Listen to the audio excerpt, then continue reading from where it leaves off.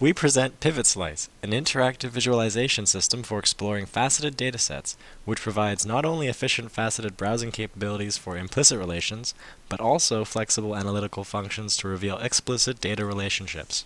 The Pivot Slice interface contains the following components a search and operation panel, a history panel, an information panel, a main canvas, and a cell relation panel.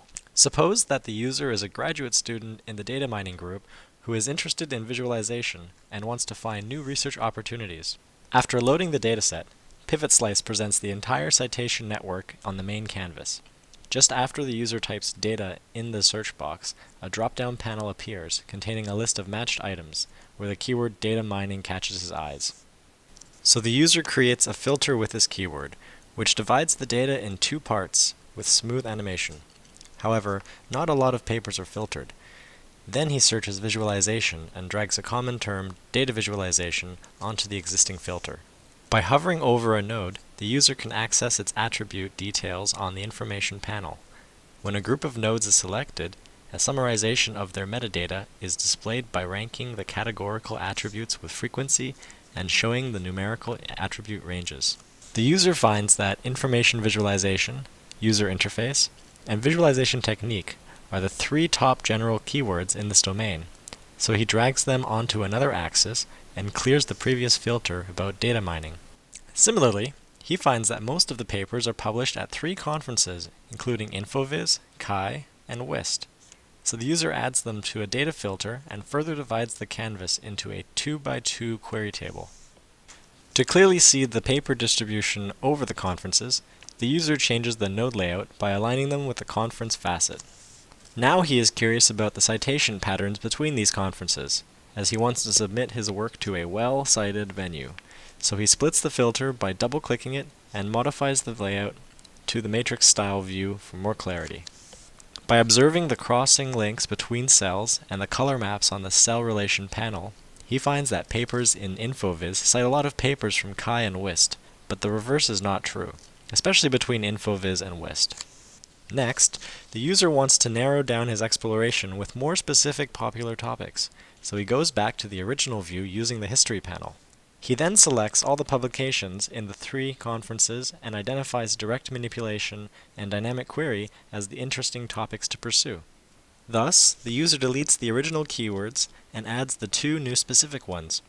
To study the publication trends for the selected topics along time, the user adds a year facet and aligns the nodes using it. He further aggregates the nodes vertically to see trends more clearly and finds that those topics have not been active since 1994 and 1995, which is a bit disappointing.